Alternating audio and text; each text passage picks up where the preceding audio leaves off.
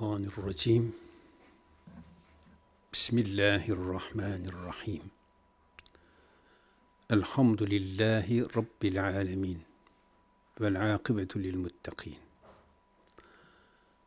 Ves salatu vesselamu ala rasulina Muhammedin ve ala alihi ve sahbihi ecmaîn.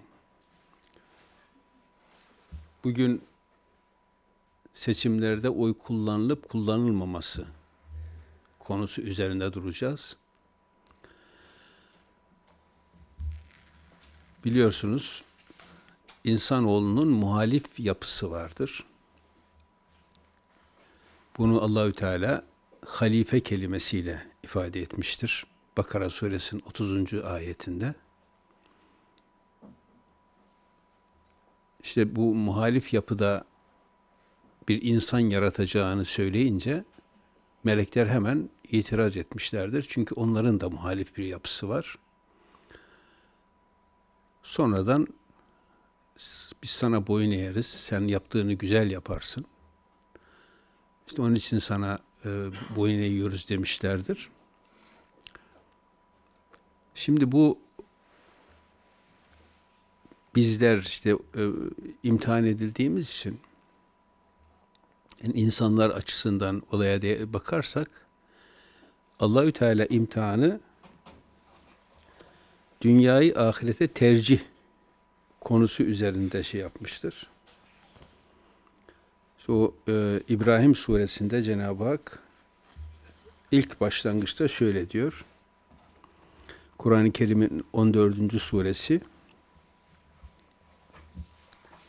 Elif Lam Ra Kitabun enzelnahu ileyk. Bu sana indirdiğimiz bir kitaptır.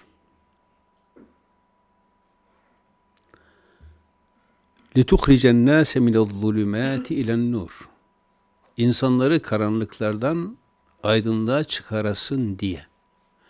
Tabi o aydınlık dünyada da mutluluğu gösterecek olan aydınlık, ahirette de mutluluğu gösterecek olan aydınlık bi izni rabbihim Rablerinin izniyle. Peki o aydınlık ne? İla sıratil azizil hamid. Azizsen en güçlü olanın yaptığı her şeyi en doğru bir şekilde, en güzel bir şekilde yapanın, yaptığını mükemmel yapanın yoluna. En güçlü olanın yolu, yaptığı her şeyi en mükemmel yapanın yolu. O zaman o yol insanı bu dünyada da ahirette de mutlu eder. Allahillezî lehu ma fis semavati ve fil ard. Allah'ın yoluna ki göklerde ne var, yerde ne varsa zaten hepsi onundur. Sen de onunsun. Kafirler de onun, onun onun olmayan hiçbir şey yok. Sonra diyor ki وَوَيْلٌ لِلْكَافِرِينَ Yazıklar olsun o kafirlere. Nedir o yazıklar olsun? Bakın göklerin sahibi Allah. Yerin sahibi Allah. Bizim sahibimiz Allah. Bunu kimse inkar etmez. Yaratan o. Bitkiyi bitiren, hayvanları yaratan, gökleri ve yer, yaratan o. Her şeyimiz ona borçluyuz. Ama orada kalkıp Allah'a kafa tutan işte kafir olmuş oluyor. İşte ilk kafa tutan Kur'an-ı Kerim'de iblistir. Allah melekleri Adem'e secde ettin, edin dediği zaman etmiyor. Ben daha hayırlıyım diyor. Ya sen niye Allah'a kafa tutuyorsun? Allahü Teala Adem'i o bahçeye yerleştirdiği zaman Adem'le Havva'yı her şey serbest şu ağaçtan yemeyin diyor. İblis hemen işte bu ağaçtan yerseniz size ebediyet ağacını yok olmayacak saltanatı göstereyim mi dediği zaman yani ölümsüzlük dünyada sürekli kalacaksın, sürekli sultan olacaksın, hakimiyet elinde olacak. Hemen öğretmeni Allah olan Adem ve eşi o ağaçtan yediler ve ellerindeki bütün imkanları kaybettiler. İşte şimdi onun için Allahü Teala burada şöyle diyor. O kafirlerin, kafir ne?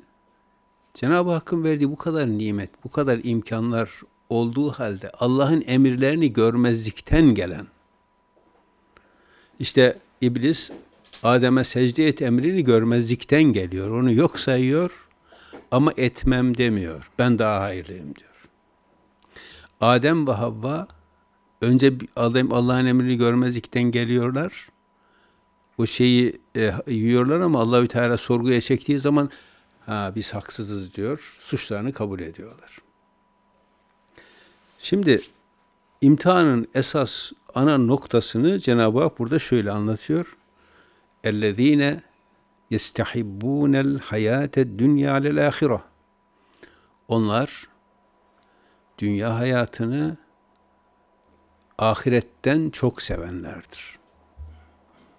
Ahireti sevmeyen demiyor, dikkat edin. Onun için iblis, iblise bakın, Allahü Teala diyor ki işte yeniden diriliş, diriliş gününe kadar bana ömür ver diyor. Ahireti biliyor. Herkes bakın en dinsizin de e, ta, takip edin. Bir onda da bir ahiret inancı vardır. Onun için mesela yaptıkları bütün çalışmalarda kalıcı olmaya, kalıcı eserler bırakmaya gayret ederler. Birisine bir yanlış yapsan, gün gelecek sana bunun hesabını vereceğim, şey soracağım der. Peki hangi gün o?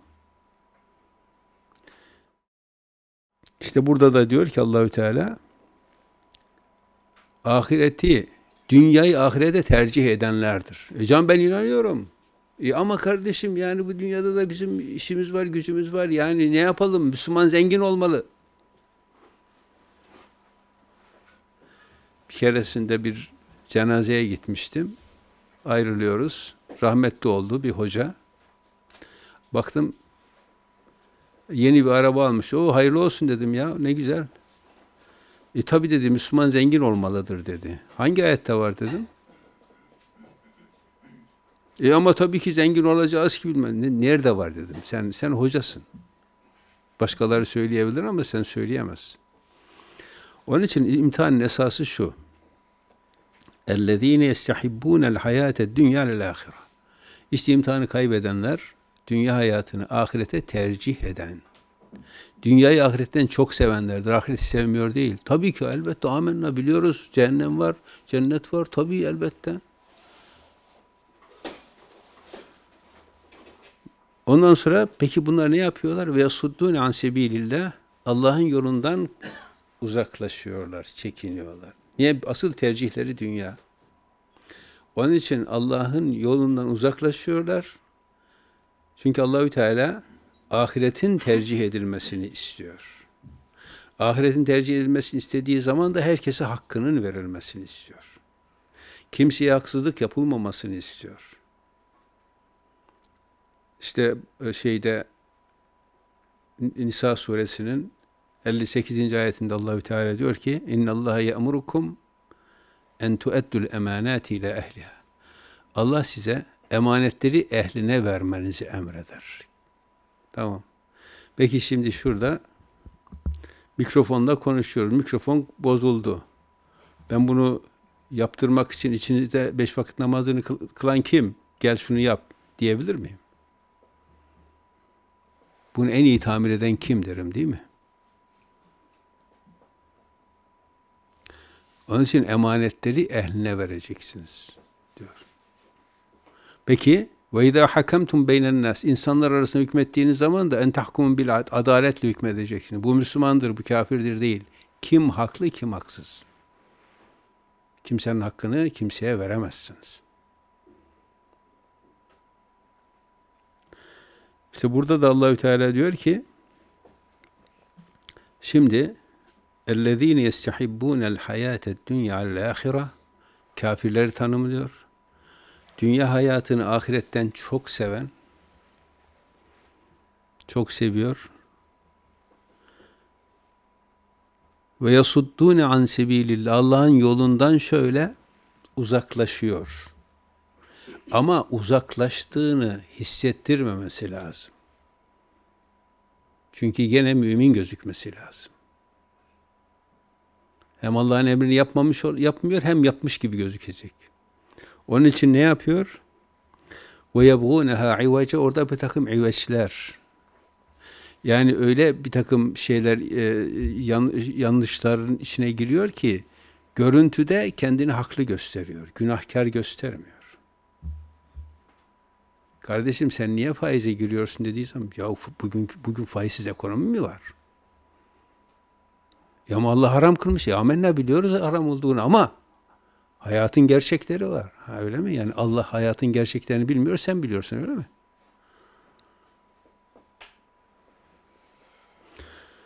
Ulaike fi dalalin ba'id işte onlar derin bir sapıklık içerisindedirler. Peki burada böyle. O zaman imtihanın esası ahireti dünyaya tercih etmekse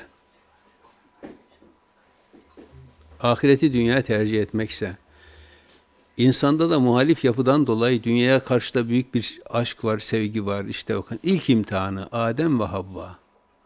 Adem aleyhisselam öğretmeni Allah olan bir kişidir.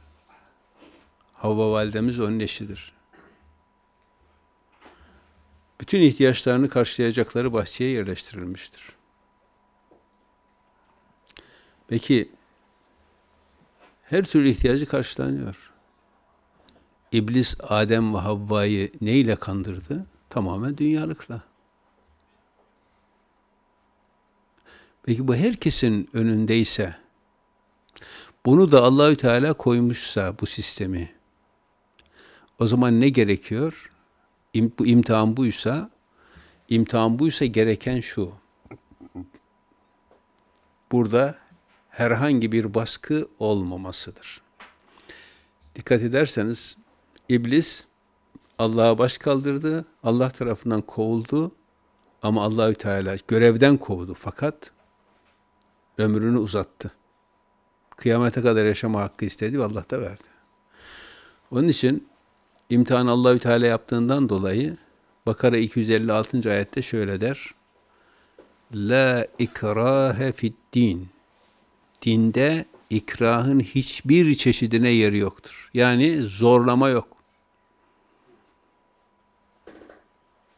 Dikkat ederseniz iman, iman esası nedir? Ağızda söylemek mi? Kalple tasdik, içten tasdiktir. Peki bir kimsenin içten tasdik edip etmediğini en iyi bilen kimdir? Allahü Teala. Peki o zaman biz baskı yapsak bir insana, zorla mümin olduğunu söylesek, Allah bunu iman olarak kabul eder mi? Kalbinde iman olduğu olmadığı halde ben müminim diyen kişiye ne diyor Allah? Münafık diyor, iki yüzlü. Peki iman buysa burada herhangi bir kişinin herhangi birine baskı yapma ihtimali var mı? Bak ne müminlikte baskı yapılabilir. Onun için Allahü Teala hani baskıyla mümin olmadığını söyleyenleri de affettiğini ifade ediyor. O ayeti hatırlıyor musun? Şeyde. Neyse şimdi ne de Nahil yani bir aç, aç şuradan şey yapalım. Ve kalbuhu mutmainnun bil iman diye şey. Şimdi kalbinde iman olduğu halde kalbinde iman olduğu halde baskılar yani can güvenliği ortadan kalktığı için mümin olmadığını söyleyen bir kişiyi Allah kafir sayıyor mu? Saymıyor. Şimdi o ayeti okuyalım. Nahil suresi 106. ayet. Evet. Bak burada diyor ki Allah Men kefere billahi min ba'di imanihi. İnandıktan sonra kim Allah'a karşı bir, yani imanını örterse, kefere örtmek demektir yani kafir. Peki imanını örtüyor. Bak iman var ki örtüyor. İman örten, örtenler iki, iki çeşittir. Az önce söylediğimiz gibi menfaatlerine ters geldiği için tamam şimdi bu doğru ama şunu şunu bir yapayım şimdi yani dünyayı ahirete tercih ederek şey yapıyor. Ama sadece bir istisna var çünkü can son derece önemlidir. İlla men ukrihe ama baskı altına alınmış olanlar hariç ve kalbuhu mutmainun bil iman. İçi imanla dolu. İçi imanla dolu baskı altında kafir olduğunu söylüyorsa Allah bunu kafir saymıyor. Peki o zaman ya dinden dönersin ya da seni öldürürüm diye birisi tabancayı dayar da öbürüsü de tamam ben de döndüm derse bu kişi kafir olmuş oluyor mu? Olmuyor. O zaman ya da birisine Müslüman ol kafir yoksa seni öldürürüm diye hep, hep hikaye anlatırlar. İşte Yeniçeri şey etmiş, kafir şey yapmış. Ya Müslüman ol ya da öldürürüm demiş. Tamam Müslüman olayım ama ne yapacağım? Ulan ne yapacaktı demiş. Şimdi dolayısıyla e, zorla Müslümanlık da olmaz. Çünkü kalbinde iman olmadığı halde ben müminim diyen kişiye ne diyor Allah? Münafık diyor değil mi? O zaman iman esası nedir? Kalp ile tasdiktir. O kalbi Allah'tan başkası bir bilemediğine göre Allah öyle bir yapı oluşturmuş ki siz isteseniz de dinde baskı yapamazsınız. Dolayısıyla din sahası imtihanın en temel sahası olduğu için orada herkesi gayet serbest bırakmıştır. İşte Medine'de Muhammed Aleyhisselam'ın getirdiği dinin doğru olduğunda en küçük şüpheleri olmayan, kesin olarak onun hak e, nebi olduğunu bilen Yahudiler kendi adamlarına şöyle söylüyorlar. Ee, Ali İmran 72. ayet. Ve kâlet taifetü min ehlil kitap. Ehli kitaptan bir grup ki o Medine'de Yahudiler bunlar şöyle dediler. Aminu billezî unzile alellezîne amenu veçennâr. Sabahleyin gidin. Müminlere inan, indirilene inanın. inandığınızı söyleyin. Tamam inandık. Bizim beklediğimiz nebi bu. Beklediğimiz kitap bu. Deyin. Vekfuru ahirahu ama akşamleyin de yok. Biz yanlış yapmışız. Şimdi gerçeği anladık. İnanmıyoruz deyin. Yani ne deniyor buna? Mürtet olun değil mi? لَعَلَّهُمْ يَرْجِعُونَ Belki onlar dönerler. Bakın bunlar Muhammed Aleyhisselam'ın Allah'ın nebisi olduğunda şüphe etmeyen Yahudiler. Kesin bilen. Peki bunlar sabahleyin gelip inandım diyor. Medine'nin hakimi de Muhammed Aleyhisselam o zaman. Akşamda kafir oldum diyor. Peki bunlara herhangi bir baskı uygulanıyor mu? Bakın meydan okuyarak kafir oldum işte. Var mı diyeceğin? En küçük baskı var mı? Eğer en küçük bir baskı olsa bunlar böyle bir şeye cesaret edebilirler mi? Onun için imtihan dünyayı ahirete tercihtir. Şimdi, e, peki dünyayı tercih ederseniz imtihanı kaybedersiniz. O zaman bizim örnek örnek alacağımız kişiler kimler? Cenab-ı Hak kim bize örnek gösteriyor? Allah'ın enbiyasını değil mi? Bize de Muhammed Aleyhisselam örnek gösteriyor. Biz onlar gibi şey yapmalıyız. Peki Muhammed Aleyhisselam Mekke'de herhangi bir e, talepte bulundu mu dünyalık olarak? Ya da Medine'de o mu talep etti Allah mı verdi onlara? Ona onları. Nebiler ne yaptılar? Dolayısıyla bugün işte bugün işte şey e, seçim yapılıyor. Oy verecek mi, vermeyecek mi bilmem ne falan işte efendim yok e, şöyle olur böyle bir sürü hani ayet-i kerimede Allahü Teala İbrahim suresinde iveç yaparlar diyor ya. Yani öyle bir üçkağıtçılık yapıyorlar ki dünya bizim elimizde kalsın diyenler dini kullanmak istedikleri zaman hep böyle yerlerde üçkağıtçılık yapıyor. Hep böyle yerlerde. Kendisi en, en, en berbat malları satar. Bir Müslüman dururken kafirden mi mal alacaksın? Tamam sen daha güzelini yap. Onu gidip gelip senden alayım. Şimdi bakalım ki Allah'ın enbiyası insanlara karşı ne yapmış? Onu da Fehmi Çeçen'den dinleyelim. Evet. Bismillahirrahmanirrahim. Şimdi e, Allahü Teala'nın önce elçi gönderdiği toplumları bir tanıyalım. Hani e, bu insanların e, hayata bakışı ne? Tabi burada yönetici kesimden bahsediyoruz. Yönetilenler esnaf kesim zaten zulüm içerisinde kıvranıyor. Çünkü küfür sadece müminlere zulmetmekle kalmıyor. Kendi yandaşlarını da eziyor. Şimdi Allahü Teala bize Kur'an-ı Kerim'de kendi elçilerinin hayatlarını örnek olarak göstermiştir. O zaman onları iyi tanımalıyız. Onların peşinden gitmeliyiz. Onların e, mücadelelerini örnek almalıyız. E, bizim dilimize de geçmiş olan hepinizin bildiği bir tabir vardır. Orman kanunları diye. Şimdi bu orman kanunu nedir? Bunu açalım isterseniz. Bir gün aslan, kurt bir de tilki avlanıyorlar. Aslan bir tane inek yakalıyor. Kurt bir tane koyun yakalıyor. Tilki de bir tane tavuk yakalıyor. Aslan diyor ki kurta şunu pay eder misiniz diyor. Kurt diyor ki siz ormanın kralısınız diyor. Dolayısıyla en büyük sizin hakkınızdır diyor. Ben de diyor kendi avladığımla yetineyim.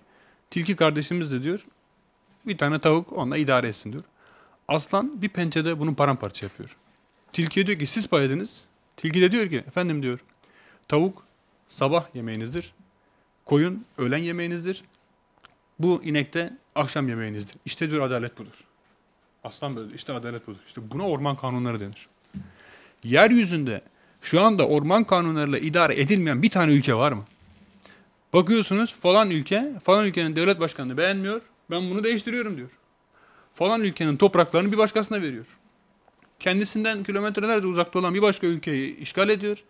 Oradakilerin ırzına geçiyor, tecavüz ediyor, asıyor, kesiyor, yeraltı, yerüstü zenginliklerini götürüyorlar. İşte bunlar tağuttur, bunlar insanların Allah'a tuyan etmesidir. Elçilerin gelmiş olduğu toplumların yöneticileri bu tipte insanlardır. Peki Allah'ın elçileri bu tipteki insanlarla nasıl mücadele ettiler? Mesela detaylara gireceğim ama hemen söyleyeyim. Firavun ne yapıyordu? Çocukları öldürüp işte e, kadınları sağ bırakıyordu. İşte adamları asıp kesiyordu. İsrailoğullarına işkence yapıp onu zorbaca kullanıyordu. İşte tam bir tağut. Bugün yapılanlar neyse odur yani. Değişen bir şey yok. Allahü Teala'nın indirdiği hükümlerin uygulanmadığı bütün toplumlar cahiliye toplumlarıdır. Orman kanunlarıyla idare ediliyordur. Orada adaletten bahsedilemez. Kimse hakkını arayamaz. Ben hemen ayetlerle konuyu zenginleştireyim. Daha fazla şeye girmeyelim. Herhalde bu kısım anlaşılmıştır. Şimdi Allahü Teala tağutlarla mücadele edin diyor ama ondan önce şunu söylüyor. Hud suresinin 112. ayetinde. Öyleyse sana verilen emre tam olarak uy. Seninle birlikte dönüş yapanlar da uysunlar. Sakın tağutluk etmeyin. Resulullah söylüyor bunu.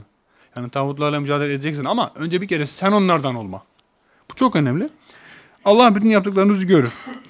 Kur'an-ı Kerim'e baktığımız zaman Allah'ın hiçbir elçisi toplumlarının kışkırtmalarına gelip tahrik olup da ortalığı yakıp yıkmaya, hükümeti ele geçirmeye, darbe yapmaya, efendim e, asayişi bozmaya e, çalışmamışlar.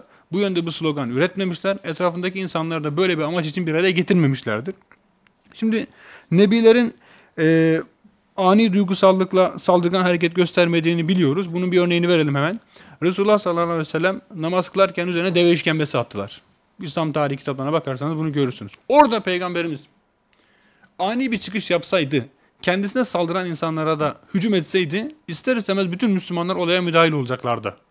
Ondan sonra Mekke'nin kodamanlarının en çok istediği şey gerçekleşecekti.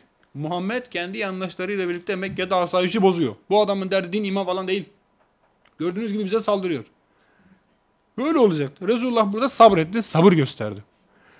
Musa Aleyhisselam'ın ümmeti İsrailoğullarının çoluk çocuğu kesilirken onlara sabırlı olun dedi. Yani burada sabretmek, geri adım atmak, zilleti kabul etmek değil. Yapacağınız ani çıkışlar, duygusal hareketler sizi haklıyken haksız duruma düşürür. Ki şu anda İsrail'in yaşadığı bu değil mi? Bir zamanların mazlumları şimdinin zalimleri oldular. Kendilerine yapılan işkenceyi şimdi onlar bize yapar hale geldiler. Dolayısıyla insanların nefretini kazandılar. Bu duruma düşmeyelim diye Allahü Teala bizi elçileri aracılığıyla uyarır. Şimdi şöyle devam edelim ayetleri okuyalım. Taha suresinin 47. ayetinde Allahü Teala şöyle buyuruyor. Hemen gidin ona deyin ki biz senin Rabbinin elçileriyiz. İsrail oğullarını serbest bırak bizimle gelsinler. Bakınız Musa aleyhisselam diyor ki Firavun'a Allah böyle emir veriyor. Git ona de İsrail oğullarını bırakın bizimle gelsin. Ve la tuazzibuhum. Onlara azap etmeyin. İşkenceler yapmayın. Yani bu azıp kesmekten vazgeç. Onları köle gibi kullanmaktan vazgeç. Biz sana Rabbinden bir belge ayet getirdik. Onu yoluna giren esenlik ve güvenliğe selamete erer. Onun yoluna giren selamete erer. Şimdi diyor ki Musa Aleyhisselam. Biz Allah'tan bir belge üzere hareket ediyoruz. Eğer bizim getirdiğimiz bu ayetleri iman edersen selametle yaşarsın. Eğer inanmayacaksan da bizi rahat bırak. Bize işkence yapma. Musa Aleyhisselam'ın konuşmaları böyle sürüyor. Aynı surenin 56 ve 57. ayetinde Firavun'un tepkisini Allah bize şöyle açıklıyor. Firavun'a bütün belgelerimizi gösterdik. Ama o yalana sarıldı ve direndi. Ne dedi? Dedi ki Musa büyünle bizleri yerimizden, yurdumuzdan çıkarmak için mi geldin? Sen bizim memleketimizden sürmek mi istiyorsun? Musa Aleyhisselam öyle mi dedi? Orada ondan mı bahsetti? Bırak bizi gidelim diyor. Firavun bunu takla attırıp yani kamuoyunda kendisine haklı bir şey oluşturacak, yer oluşturacak. Ne diyor? Bu adam memlekette asayişi bozuyor. Bakın gördüğünüz gibi sizi yurdunuzdan çıkarmaya çalışıyor. Bunun peşinden mi gideceksiniz? Mü'min suresinin 26. ayetinde yine Firavun'un Musa Aleyhisselam'ı şöyle itham ettiğini görüyoruz. Firavun bırakın beni Musa'yı öldüreyim. E, öldür. Koskoca Mısır Firavun'u sensin. Oranın sahibi sensin. Niye öldüremiyorsun? Çünkü gerekçen yok. Bir gerekçe uydurmak zorundasın. Şöyle devam ediyor. Çünkü sizin dininizi kendininkiyle değiştireceğinden veya kurulu düzenin bozulmasından korkuyorum. Niye korkuyorsun eğer sen gerçekten adil yönetiyorsan? Eğer sen gerçekten insanların haklarını veriyorsan, kendi düzenin değişmesinden niye korkuyorsun? Hani hak, hürriyet, budur budur vardı. Hürriyet bir tek senin için mi var? Musa Aleyhisselam burada kafir, düzen bozucu, fesat çıkartıcı olarak tanımlıyor. İşte bu yüzden de öldürmemiz gerekiyor diyor. Sonra şöyle devam ediyor. Ee, bu Şuara suresinin 18 ve 19. ayetlerinde gerçi bu konuyla ilgili bu surenin tamamının okunması lazım. Çünkü Allah'ın bütün elçilerinin orada kendileriyle tartışanlara nasıl tepkiler verdiklerini görüyoruz. Firavun diyor ki Yeni doğmuş bir çocukken seni biz yetiştirmedik mi? İçimizde yıllarca yaşadın. Sonra da yapacağını yaptın. O kazara adam öldürmesinden bahsediyor. Sen nankörün tekisin. Sen kafirsin diyor. Hem kafirsin hem nankörsün. Sen bizim sistemimize karşı geliyorsun. Yani şimdi siz, e, senin verdiğin e, iyilikler, yaptığın iyiliklere teşekkür edeceğiz diye senin zorba düzenini kabul mü eder? Göz mü yumalım yani? Firavun bunu istiyor işte. İşte bu orman kanunlarıdır, çöl kanunlarıdır. Şimdi başka bir nebinin hayat hikayesine geçelim. Mü'minin suresinin 22 ve 24. ayetlerinde ifadeler şöyle. Nuh'u halkına elçi gönderdik. Onlara dedi ki, Ey halkım Allah'a kulluk edin. Sizin ondan başka tanrınız yoktur. Kendinize çeki düzen vermeyecek misiniz? Halkına yapılan, halkı yapılan uyarı- uyarıları görmezden geldi ve önderleri şöyle dedi. Oranın kodaman kesimi. Bu sizin gibi insandan başka ne ki? Size üstünlük taslamaya çalışıyor. Bunun derdi size üstünlük kurmak, karizma yapmak. Yani farklı şeyler söyleyip meşhur olup halk içerisinde bir nüfuz elde etmeye çalışıyor. Allah elçi gönderecek olsaydı melekleri gönderirdi. Biz en eski atalarımızdan böyle bir şey duymadık. Yalan söylüyorlar. Allah'ın elçi göndermek isteseydi melek olarak göndereceğini nereden duydun o zaman? Vahyi inkar etmek için, başkalarını da inkar ettirebilmek için böyle bir şey yok. Bunu bu adam uyduruyor. Maksadı da üstünlük sağlamak diye halkı tahrik ediyorlar. Bu olsa olsa cinlerin etkisine girmiş bir adamdır. Bir süre onu gözlem altında tutun. Şimdi gözetleyin bakalım ne yapacak bu. Bir takım üstünlükler kurmaya çalışıyor ama dur bakalım. Gördüğünüz gibi Nuh Aleyhisselam da son derece tahrik edici bir şekilde işte sen üstünlük kurmaya çalışıyorsun. Senin yanındakiler zaten senin gibiler. Senin gibi zayıf insanlar. Onlar yanından kov ki senin yanına gelelim gibi onun yapmadığı şeyleri yapmış gibi gösterip bakınız birisi sizden falan günahınızdan tövbe edin derse eğer tövbe etmek için bir kere onu yaptığınızı kabul etmeniz lazım. Şimdi Nuh Aleyhisselam da tamam sizin gibi davranayım derse bu sefer buradaki ithamları kabul etmiş olur. Bu yüzden Nuh Aleyhisselam diyor ki Allah'a kulluk edin. Ben sizden bir ücret istemiyorum. Böyle böyle bir derdim yok. Şu Araf suresinin ilgili ayetlerini okun. Orada daha detaylı bir şekilde görürsünüz. Yine bir başka elçinin kıssasına geçelim. Aslında bütün elçilerin kıssaları böyle. Kafirlerin nebileri itham ettikleri hususların tamamı tağutların mücadelesi, Resullerin onlara vermiş olduğu cevaplar da bizim yapmamız gereken, vermemiz gereken mücadele. Şuayb Aleyhisselam'la ilgili Hud suresinin 91 ve 93. ayetleri şöyle. Dediler ki bak Şuayb söylediklerinin çoğunu anlamıyoruz. Hani bugün de var ya biz Kur'an okuduğumuz zaman anlamıyoruz diyenler. Bakın kimler gibi tepki veriyorlarmış. Biz anlamıyoruz diyorlar. Bizim gözümüzden sen gerçekten çok zayıfsın. Bunun ne önemi var? Önemli olan ne söylediğidir. Önemli olan ne kadar doğru konuştuğudur. Ya zayıf insanlar doğruyu söyleyemezler. Eğer ailen olmasaydı seni taşa tutardık. Bizim yanımızda senin bir gücün yoktur. Şimdi onun içinde bulunmuş olduğu kabile eşraftan hani belini, bileğini bükemiyorlar. Eğer diyor bu kabilen olmasaydı senin canını okurduk. Şuayb Aleyhisselam da çok muhteşem bir cevap veriyor. Ey halkım size göre ailemin gücü Allah'ın gücünden daha mı çok ki onu göz ardı edip sırt çeviriyorsunuz? Yani benim kabilen Allah'tan daha mı güçlü ki Allah'tan değil de onlardan korkuyorsunuz? Devam ediyoruz. Benim Rabbim yaptığınız her şeyi çepeçevre kuşatır. Ey halkım kendinize uygun olanı yapın ben de yapacağım. İşte kötü insandan kötülük beklenir, iyi insandan iyilik beklenir. Şuayb Aleyhisselam diyor ki siz size uygun olan karakterinizin gerektirdiğini yapın ben de yapacağım. Alçaltıcı azap kime gelecekmiş? Yalancı kimmiş yakında öğreneceksiniz. Gözetleyin sizinle birlikte ben de gözetlemekteyim. Gördüğünüz gibi elçilerin vermiş olduğu cevaplarda herhangi bir tahrik edici unsur yok. Yakında burayı ele geçirdiğimiz zaman sizin canınızı okuyacağız. Hele bir iktidarı ele geçirelim. Hele bir elimize bir düşün. Siz o zaman görürsünüz ne yapacağımızı demiyor. Mesela Yusuf Aleyhisselam kendisine kuyuya atan kardeşlerini tahta çıktığı zaman o kuyu o atıldığı kuyunun e, içinde bulunduğu o memleketin tamamına hakim olduğu zaman hiçbirini cezalandırmıyor. Bugün size kınama yoktur diye cevap veriyor. Dolayısıyla dünyada hakimiyet kurmak hepimizin arzusudur. Yönetime talip olmak yanlış ya da ayıp bir şey değildir. Hepimiz en üstte olup en iyi şeyleri yapmak isteriz. Ancak bunun metodu vardır. Kan dökerek, kışkırtarak, iftiralar atarak, yalan söyleyerek bir yere varılamaz. Bunlar ancak hiçbir şey yapamayacak olan zavallıların, kendi hakimiyetlerinin elinden çıkmasından korkan sefillerin, kendi saltanatlarının biteceğinden, sonu geleceğinden endişe eden zalimlerin korkularıdır.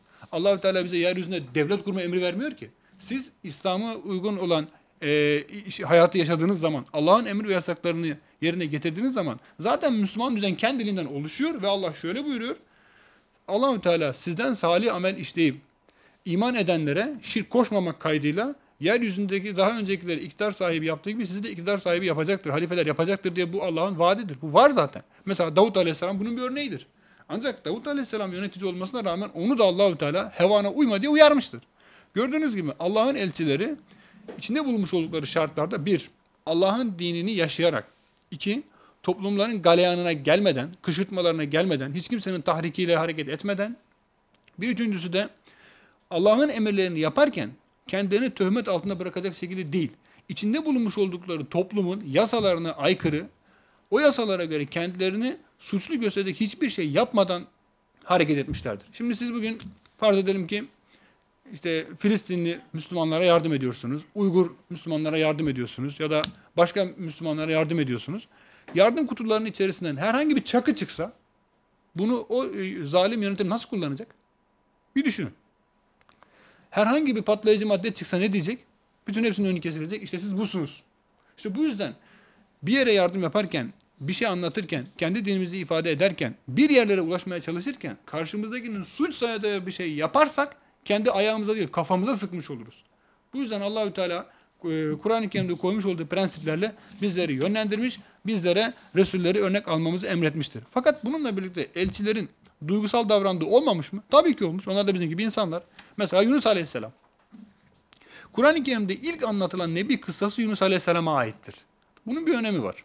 Bize ifade ettiği bir mana var.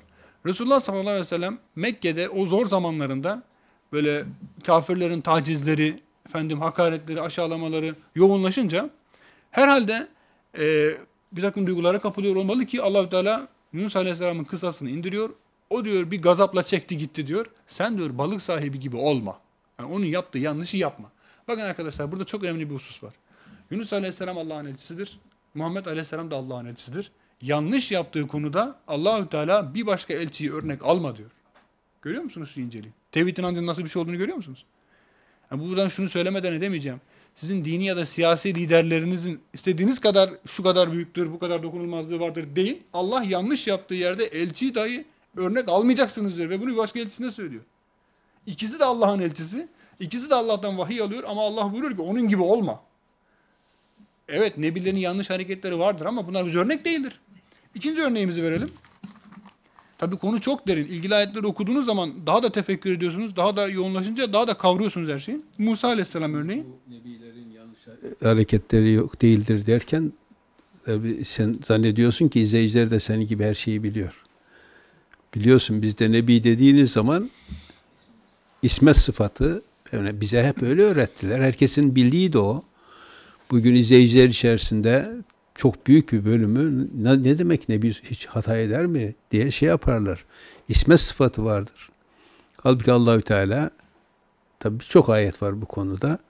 Ama en başta sık sık tekrarladığımız Mümtehine suresinin 12. ayetinde Mekke'den gelen hanımların, hicret edip gelen hanımların Resulullah'la Allah'ın nebisi olarak, Allah'ın nebisi sıfatıyla yaptığı sözleşmenin maddelerinden bir tanesi la ya'sineke fi maruf. Senin yapacağın doğru şeylerde sana karşı çıkmayacaklar. Demek yanlış yaparsan karşı çıkarlar. Dolayısıyla bu e, bunu da yani kısaca bir kısa şeyle araya girmiş olarak şey yapayım. Çünkü izley- izleyiciler onu maalesef yani bize çok yanlış bir din öğretildiği için şey yapılamaz. Evet. İkinci örneğimi vereyim ben. Musa Aleyhisselam örneği. Musa Aleyhisselam biliyorsunuz İsrailoğulları kurtuluyorlar. Tur Dağı'yla Tur Dağı'na gidiyor. Allahü Teala ile yaptığı sözleşme gereği orada bir konuş, konuştuğu mükerreme yapacaklar. Allahü Teala emir ve yasaklarını verecek. Musa Aleyhisselam gidiyor. Gidince kavmi bir müddet yalnız kalıyor. Allahü Teala buyuruyor ki ey Musa neden sen önce geldin? Kavminden önce geldin. O da seni razı etmek için geldim Allah'ım diyor. Musa Aleyhisselam'a buyuruyor ki Allah sen ayrıldın ama diyor Samiri kavmini saptırdı. Tabi Musa Aleyhisselam'ın hocam e, evliya gibi geçmişi bilmek, ne bileyim olup bitebilmek gibi keramet olmadığından anlamıyor arkasında olup bitenin ne olduğunu. Maalesef bir, tarikata mensup ol tövbe Bir tarikatı olmadığı Şakası Sofi- bile insanı rahatsız ediyor. Sofi olmadığı şeyler. için, derviş olmadığı için anlayamamış. Neyse. e, Musa Aleyhisselam büyük bir öfkeyle geri dönüyor. Şimdi burada çok önemli bir şey var. İsa Aleyhisselam vefat etti. Onun arkasından Paulus Tanrı İsa'yı icat etti. Musa Aleyhisselam daha toplumunun içerisindeyken onun hakkında hadis uydurulmadı. Yeni bir tanrı uydurdu adam. Bu Musa'nın tanrısıydı. Oğlu unuttu dedi. Peki aradan geçen 1500 yıl içerisinde Muhammed Aleyhisselam hakkında kim bilir neler neler uyduruldu, neler neler sistemleştirildi ve gelinen son nokta nedir? Muhammed eşittir Allah. Ve bu adamlar İslam'ı en iyi temsil eden kimseler olarak biliniyorlar ki konumuz dışı. Devam edelim biz konumuza. Allahu Teala Musa Aleyhisselam psikolojisini ifade ederken diyor ki gadbane esife. Yani büyük bir moral bozuntusu ve gadbane öfkeyle dolu bir şekilde geldi. Ne yapıyor Musa Aleyhisselam gelip? Samiri'ye mi saldırıyor? Harun Aleyhisselam'a mı? Neden? Çünkü bir yerde başıboşluk varsa önce Müslümanlar sorumludur. Biz e, kendimizi sorumlu hissetmeliyiz. Madem ki en iyi şeyi yapacağız, en iyisini biz ortaya koyacağız iddiamız var. O zaman bütün sorumlulukla biz göğüslemeliyiz. Bu yüzden saçını sakalını diyorlar Harun Aleyhisselam. Mesela sen görmedin mi olup bir tane haberin yok mu diye. Onu şey yapıyor, e, ona hücum ediyor. Samiriye de diyor ki senin derdin ne? Niye böyle yapıyorsun? Ben diyor elçinin izinden bir biraz aldım. Yani senin izinden, senin yaptığın işlerden biraz aldım. Biraz kendim kattım. Bir de onların görmediklerini ben gördüm. Hani vardır ya onlar bizim bilmediklerimizi bilirler. İşte tam Samiri kafası. O da aynısını söylüyor. Ben diyor bunların görmediklerini gördüm, bilmediklerini biliyorum. Öyle başladığımız zaten bunun sonu gelmez. Musa Aleyhisselam bu öfkesine rağmen Allahü Teala bizim gidip bir başka Müslümanı dövmemizi, saldırmamızı emretmiyor. Evet orada öyle fevri bir çıkış yapmıştır. Fakat bu bizim örnek almamız gereken bir davranış değildir. Musa Aleyhisselam'ın Firavun'la konuşmalarına bakacağız. Onun eee, onun Firavun'a nasıl tepki vermişse biz de karşımızdaki kafirlere böyle bu şekilde tepki vereceğiz. Bu bizim için önemli. Musa Aleyhisselam'ın Samiri'ye yapmış olduğu tepki onu oradan kovuyor. Allahü Teala'nın iblise yaptığının aynıdır. Yani lanetlenme. Kafir olmuş. Kafirin şeyi hakkı lanetlenmedir. İsa Aleyhisselam onu yapıyor. Git diyor senin artık bundan sonra senin yapacağın bana kimse dokunmasın. Yani toplumdan tecrid edilmişsin. Yüzam hastası gibi Yani kendisi te- te- tecrid ediliyor. Yani şeyler de öyledir. Yani dinden dönen insanlar yani e, bu başkaları onu mümin saysa da saymasa da psikolojik sıkıntıdan hiçbir zaman kurtulamazlar. Dolayısıyla Müslümanların birkaç tane fevri çıkışı içinden o bütün ümmeti Muhammed'in resmi görüşünü yansıtmaz, yansıtamamalı. Şimdi Furkan suresini okuyun. Baştan aşağı ilk 10 ayetini okuduğunuz zaman orada Mekke'nin müşriklerinin, kodamanların, o tağutların Resulullah'a ithamlarını görürsünüz. Surenin ilerleyen bölümlerinde Allahü Teala'nın önceki kavimleri nasıl yok ettiğini anlatır. Yani onlara bir mesaj verir. Bakın sonunuz böyle olur diyor. Surenin ilerleyen ayetlerinde bu türlü şeytanlara karşı nasıl tepki vermemiz gerektiği anlatılır. Surenin sonuna doğru da tövbe kapısının herkes için açık olduğu, kafirler için de iyi olanların da daha iyi olması için e, Allahu Teala mesajlar verir. Furkan suresi aslında tam bu konunun bel kemiğidir. Dikkatlice bakarsanız görürsünüz. Ben son olarak şunları ilave edeyim. İnsanlık teknolojide ilerledikçe, fende, fizikte, kimyada büyük açılımlar yaptıkça ters orantılı olarak insani duygularda gerileme yaşanmıştır. Hani asrımızdan başka hangi asırda milyonlarca insan bir defa da öldürülmüştür? Dolayısıyla bizler şu anda her ne kadar öyle zannediyoruz aslında öyle değil. Ee, başka toplumların, başka devletlerin, geçmiş çağların e, teknolojilerinin ötesinde bir teknolojiye sahip olduğumuzu zannetsek de insanlık şu anda insanlık onurunun en fazla yerlerde sürüldüğü devri yaşıyor. En ilkel devri yaşıyoruz şu anda. Kendisi gibi düşünmeyeni terörist ilan etmek. İşte yalanların bu kadar çok yayıldığı. Ya bakınız hocam yani söylemeden edemeyeceğim. Allahü Teala Kur'an-ı Kerim'de çok evliliğe müsaade etmiştir. Şimdi çok evliliği yasaklayacaksınız. E, iki, bir, bir kimse eşi e, bir başka hanımla evlenmesini yasaklayacaksınız ama sınırsız zina yapma hürriyeti vereceksiniz. E bu tağutluk değil de nedir? Bu azgınlık değil de nedir? Yani her hafta magazin gazetelerinde, dergilerinde, şurada burada eş değiştirenler, her hafta yeni bir eş alanlar, bunlar modern, çağdaş, bilmem ne olacak. Ama ikinci bir eşle hayat kurmak isteyen, vay efendim e, ağzına geleni sayacaksın yani. İşte bu tağutluktur. Bu şunu gösterir. Şu anda şeriat hükümlerini uygulamayan toplumlar, devletler, insanlar, her kim olursa olsun, kabileler, şunlar bunlar, bunlar ilkel cahiliye devri orman kanunlarıyla idare ediliyor ve yaşıyorlar. İşte dünyanın genel olarak top, e, problemi, sıkıntısı budur. Dolayısıyla bu vahşi toplumu esas şeyden bahsetsene. Yani Allah'ın enbiyası insanlardan herhangi bir maddi beklenti içerisinde olmuş mu? geliyorum hocam oraya geliyorum. Asıl Dolayısıyla- mesele o yani. Dolayısıyla dolayısıyla nebilerin e, hayat hikayeleri bizim için son derece önemli pek çok mesaj barındırıyor. Bazı örnekler verelim. Allah'ın hiçbir elçisi yine Şuara suresine müracaat etmenizi rica edeceğim. Çünkü çok sayıda ayet var buraya sığdıramayacağımız kadar. Diyorlar ki biz sizden bir ücret istemiyoruz. Sadece Allah'a kul olun. Mesela Resulullah sallallahu aleyhi ve selleme işte gel Mekke'nin bir yıl sen lider ol. Bir yılda biz lider olalım dedi. Resulullah bunu kabul etmedi. Çünkü liderlik gibi bir gayesi bir derdi yok ki. Resulullah Aleyhisselam işte Mekke'yi fethettiği zaman Kabe'nin anahtarlarını bu büyük bir şereftir. Mesela Tövbe suresini okursanız mescitlerin imar edilmesinden ve hacılara su verilmesinden bahseder. Bu onlar için şereftir. Ne yapıyor Kabe'nin anahtarlarını? Götürüyor bir müşriye teslim ediyor. Pek çok Müslüman acaba kime verecek, kendini mi tutacak diye beklerken götürüp ona veriyor. Resullerin, elçilerin şey kaygısı yoktur. Hakimiyet, iktidar kaygısı yoktur. Çünkü Allah'ın emirleri uygulandığı zaman Müslüman toplum kendiliğinden oluşacak zaten. Emaneti eline vermek gerekiyor değil mi? Mesela hocam e, siz anlatmışsınız daha önce. Resulullah Mekke'den Medine'ye hicret ediyor. Münafıkların başı olacak o kimse kendine taç yaptırıyor hatta. Oranın kralı olacakmış. Resulullah geliyor orada ona bir darbe falan yapmıyor. Onu iktidardan indirmiyor. Ben oraya geleyim oranın işi bitti demiyor. Allah'ın dinini yaşıyor. E insanlar da bunu kabul ediyorlar. Bu daha iyi diyorlar. Öbürünün planları suya düşünce bu sefer Resulullah'a nefret besliyor. Düşmanlık ortaya çıkıyor. Bir adavet ortaya çıkıyor. Neden? İşte benim egemenliğim gitti. Ya egemenlik kuracaksan, gerçekten bir hakimiyet arzun varsa bunu salih amel işleyerek yapacaksınız. Allahu Teala buyuruyor ki Kur'an-ı Kerim'de. İman edip salih amel işleyenler için Allah gönüllerde sevgi var edecektir. Dolayısıyla toplumların gönüllerine girmenin yolu böyle işgalle, tacizle, tecavüzle değil. Sosyal projeler götürerek, onların sorunlarını çözerek bu şekilde gidilir. Allah'ın elçilerinin hakimiyet kaygısı hiçbir zaman olmamıştır. O kendiliğinden ikram olarak gelmiştir. Resulullah Aleyhisselam işte bir, bir sene sen idare et, bir sene biz idare edelim gibi teklifleri reddetmiş. Bunu kabul etmemiş. Benim devlet yönetiminde bir şeyim yok, bir idarem yok, öyle bir derdim yok diye kabul etmemiştir. Mesela Peygamber Efendimiz Aleyhisselam'ın e, devlet bayrağını bilen var mı? Şekli şemali nedir? Yok. Mekke İslam Devleti diye biz tanımlıyoruz. Hocam İslam Resulullah'ın kurmuş olduğu o İslam Devleti denen yer neresiyse onun başkenti neresi? Onu deme de devletin adı neydi? Adı neydi yani? Bilen var mı? Yani siz eğer bir sistemi bakın şu gericilik olur. O zamanın örfüne, çağına uygun olan bir şeyi din diye dayatırsanız bu gericilik olur. İslam dini her zaman geçerli olan ilkeleri vaaz eder.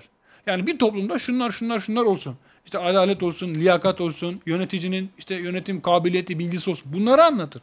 Benim de Müslümanca yaşamama sorun çıkarmıyorsa, yani kim yönetiyorsa, kim ne yapıyorsa yapsın bizi ne ilgilendirir? Siz darbe yapacağım dediğiniz zaman doğal olarak insanları kendiniz aleyhinize kuşkulandırırsınız.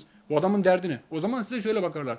Dini siyasi amaçlar için kullanıyor bu adam. Peki şimdi sen esas ayetleri bir oku bakalım. Yani ne diyordu Resul, Allah'ın Resulleri? Esas o ayetleri oku. O esas bizim için örnek olan onlar. Bizim sözlerimiz değil yani. Hiç kimse bizim sözümüze uymak zorunda değildir ama yeryüzünde her insan Allah'ın sözüne uymak zorundadır. Şöyle söyleyeyim hocam. Bu ayetler çok fazla. Bir örnek verelim. Olsun birkaç tanesini okursan yeter. Lut Aleyhisselam'dan bahsediyor. Lut kavmi de elçileri yalanladı. Hani kardeşleri Lut onlara şöyle demişti. Allah'a karşı gelmekten sakınmaz mısınız? Şüphesiz ki ben size gönderilmiş güvenilir bir elçiyim. Allah'a karşı gelmekten sakının, bana itaat edin. Şuara suresi 160. ayetten aşağı okuyoruz. Buna karşılık sizden hiçbir ücret istemiyorum. Benim ücretim ancak alemlerin Rabbi olan Allah'a aittir. Allahü Teala bu surede farklı farklı nebilerin isimlerini vererek aynı taleplerde bulunduğunu söylüyor. Hiçbir tanesi farklı bir istekte bulunmuyor. Benim ücretim alemlerin Rabbi olan Allah'a aittir diyor. Dolayısıyla nebilerin maddi, manevi, çıkar ilişkisi, yok iktidar ilişkisi, yok darbe yapalım, yok şunu ele getirelim, yok buna böyle bir şey yok. Şöyle diyor. Rabbinizin sizin için yarattığı eşleri bırakıyor da insanlar arasında erkeklere mi yanaşıyorsunuz? Bu ahlaksızlığı mı yapıyorsunuz? Siz gerçekten haddi aşan bir topluluksunuz. Elçiler toplumdaki bozuklukları eleştirirler. Hani ele geçirme gayreti yoktur orada. Bir aksaklık var bunu gidermemiz gerekir diye. Dediler ki ey Lut davet vazgeçmezsen mutlaka seni buradan çıkartacağız. Yurdumuzdan çıkar. Ne- Hangi gerekçeyle? Hiçbir gerekçesi yok. Lut şöyle dedi. Ben sizin yaptığınız bu çirkin işe kızanlardanım. Gördüğünüz gibi medeni bir şekilde tepkisini gösteriyor. Ey Rabbim beni ve ailemi onların yaptığı çirkin işlerden kurtar. Bunun üzerine biz de onu ve geri kalanlar arasındaki yaşlı bir kadın hariç bütün ailesini kurtardık. Sonra diğerlerini de helak ettik buyuruyor Cenab-ı Allah. Dolayısıyla özetleyelim. Allah'ın elçilerinin hiçbir şekilde bir yerleri ele geçirmek, bir makam sevdası, bir çıkar sevdası olmamıştır. Böyle bir iddiası olmamıştır. Allah'ın elçileri Allah'ın dinini tebliğ etmişlerdir. İslam'ın e, güzelliğini gören insanlar da küfürden ve şirkten vazgeçip bu dine dahil olmuşlardır hocam. Şimdi bu e, tamam e, şeyler Cenab-ı Hakk'ın nebilerine karşı çıkanların tamamının yalan söylediğini Allahü Teala ayetlerde sık sık bize bildiriyor. Zaten kaf, bütün kafirler yalan söyler.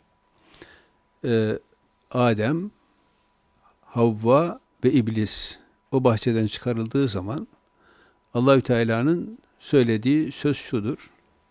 İhbitu minha Bakara suresinin 38. ayet olacak galiba.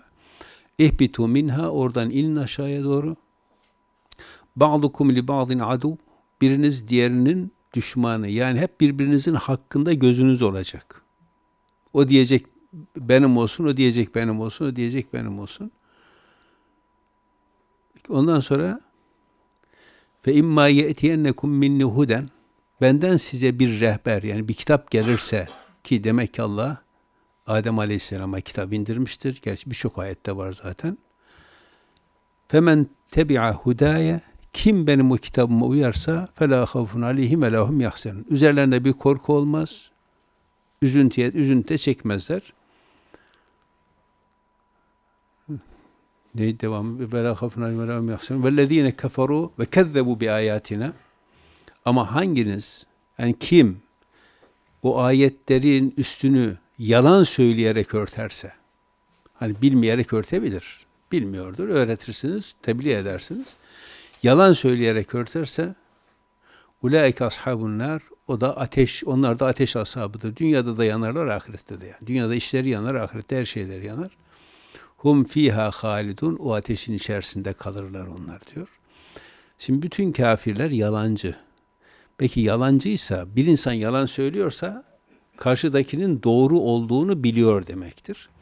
Onun için Allah'ın enbiyasının insanlara yapmış olduğu tebliğlerde söyledikleri sözlerin tamamı evrensel doğrulardır.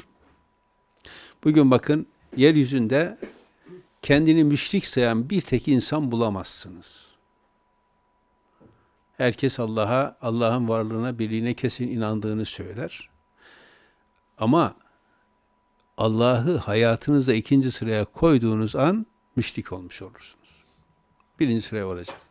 Şimdi Allah'ın emirlerine işte baktığınız zaman Allah'tan başka ilah yoktur dediğiniz zaman yapacağım biz de öyle söylüyoruz derler. Söylüyorsun da hayat lafla söylüyorsun. Hayatında var mı Allah? Allah'ın emirleri kaçıncı sırada bir bak bakalım. E ama e ama dedim işte iş, iş orada biter. Ondan sonra mesela Allah'ın haramlarına bakın. İçki haramdır. Yeryüzünde içkiyi normal bir içecek kabul eden bir ülke biliyor musunuz?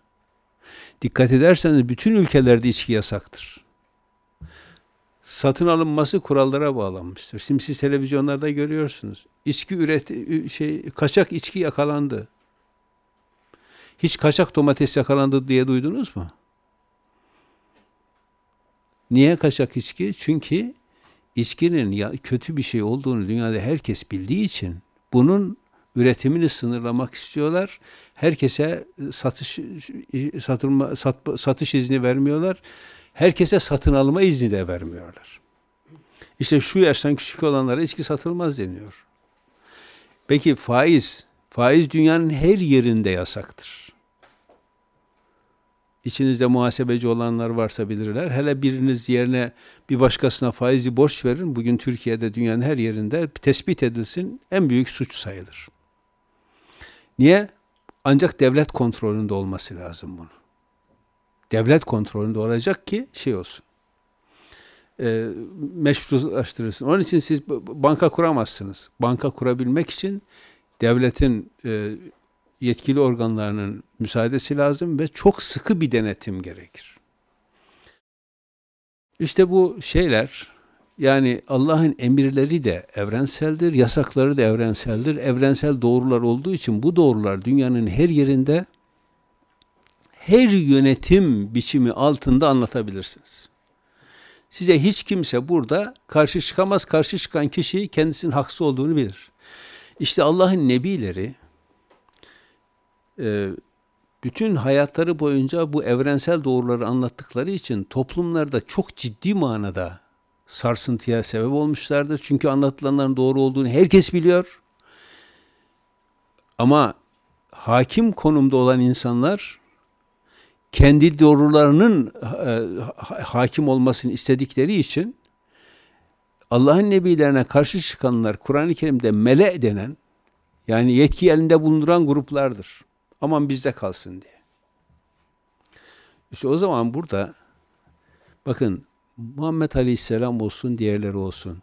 Mesela Musa Aleyhisselam hiç şeyde e, Firavun'un hakimiyeti altında suç işleye, suç işleseydi orada bırakılır mıydı? Bir kere bir nebi olmadan önce bir suç işlemişti Musa Aleyhisselam biliyorsunuz. Ne yapmıştı? Bir adamın ölümüne sebep olmuştu ama hani aslında öldürmek için vurmamıştı ama bir tokat attı adam öldü. Bunu kime ispat kimseye ispatlayamazsınız ki. O zaman da kaçtı. Geriye döndüğü zaman Allahü Teala onu nebi olarak görevlendirirken ne demişti? Mesela diyordu ki işte ya Rabbi burada e, şu Ara suresinin yani 26. surenin 14. ayetinde ve lehum aleyye zenbun fe ahafu. Onların lehine benim aleyhime bir suç var. Yani onlara göre ben suçluyum. Çünkü bir tokat attı ama onu kime ispatlayabilir ki adam öldü. Beni e, ben korkuyorum diyor e, şeyden.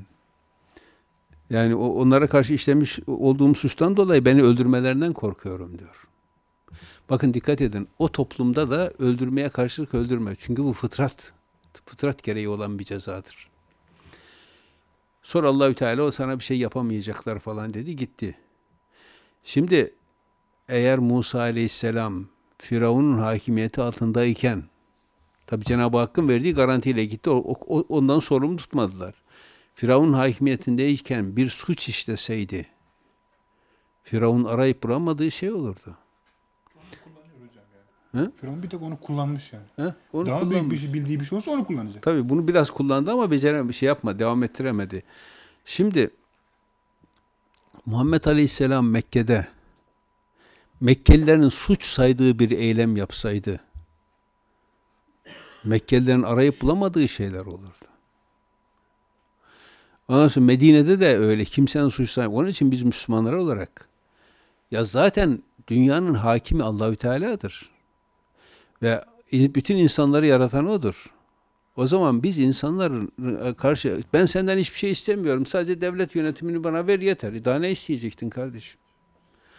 O zaman öyleyse bizim yapacağımız şu. O toplumda, bir toplumda yapıyor, yaşıyorsak, o toplumda Cenab-ı Hakk'ın bize yasaklamadığı şeyleri yapmamız lazım. aşırılık yapmamamız lazım. Mesela Allahü Teala'nın hangi ayetinde var? Yönetime karşı çıkın. Size iki şeyden birisini tercih etme hakkı verildiği zaman tercih etmeyin. Yani bugün seçimde bize demiyorlar ki beyler istediğiniz kişiyi getirin seçin devletin başına geçirin diyen yok. Sizin karşınıza iki üç tane adam koyuyorlar. Bunlardan birini seçeceksin. Bir başkasını asla seçemezsin. E bir hakkı o zaman bakarsın hangisi daha uygun, hangisini daha uygun görür, görüyorsan onu seçersin. Bunun yasak olduğuna dair en küçük bir işaret söz konusu değil ama şeyin ayetini e, İbrahim suresinin ilk ayetlerini okuduk. E, az önce size burada e, Kur'an-ı Kerim'in 14. suresi. Allahü Teala orada ne dedi? Dedi ki dünya ellezine yestahibbunel hayate dünya lel ahire 3. ayetinde İbrahim suresinin dünya hayatını ahiretten çok sevenler ve yasuddun an sebiliyle Allah'ın yolundan uzaklaşır uzaklaşırlar ve yebun hayvace orada bir iveç yaparlar, bir e, oyun yaparlar. Öyle bir şekilde yaparlar ki dışarıda insanlar anlayamazsın.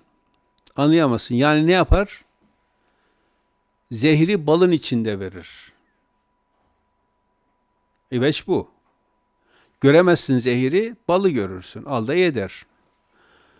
Ve ulaike fi dalalin ba'id işte onlar derin bir sapıklıklar. Bunlar ne yapar? Tuğyan yaparlar. Taşkınlık yaparlar. Taşkınlık nedir? Taşkınlık şu. Şimdi senin orada su var mı? Ver bana. Bak şimdi şurada.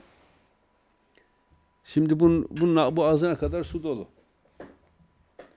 Şimdi ağzından biraz eksik şey yapılmıştır taşmasın buraya getirip giderken değil mi? Niye taşmasın? Her tarafı berbat edecek. Bakın şimdi döktüm. Şimdi taştı mı? Taştı. Taştı. Peki taşan kısım mı çok? İçerisinde olan kısım mı? İçindeki daha fazla. Canım niye ona bakıyorsun buna baksana diyecek o işte o şeyler. Ama onlar ben burada siz gördünüz. O tuğyan yapanlar taş işte taşma bu yani. Öyle bir şekilde yaparlar ki siz oradaki taşkınlığı göremezsiniz. Hocam buna bir örnek vereyim Allahu Teala buyuruyor ki e, sana kıyametin saatini soruyorlar. Onu ancak Allah bilir. Su, su, su, ayet devam ediyor ediyor. Ayet şöyle bitiyor hocam. İnsanların çoğu bunu bilmez. Bakın diyorlar. İnsanların çoğu kıyametin saatini bilmez. Ama bilen bir azınlık var. İşte buyurun hocam. Bu da buna bir örnek. Hemen hemen kendilerine bir pay çıkarırlar. Ayetleri bozarlar. Şimdi bu konuda da tağut konusunda da o konuda kitabı olan arkadaşımız Aydın Mülayim'i dinleyelim. Yani bu taşkınlıklar nelerdir? Evet. Teşekkür ederim hocam. İnsanların Allah'la ilişkilerini engellemek için tevhid kavramını bozarlar. İnsanların halkın yönetimle ilişkisini ortadan engelleme için, kaldırmak için de tağut kavramını tahrif ederler. Bu iki kavram gerçekten çok önemli kavramlardır. Çünkü tevhidi bilmeden Müslüman olunmaz.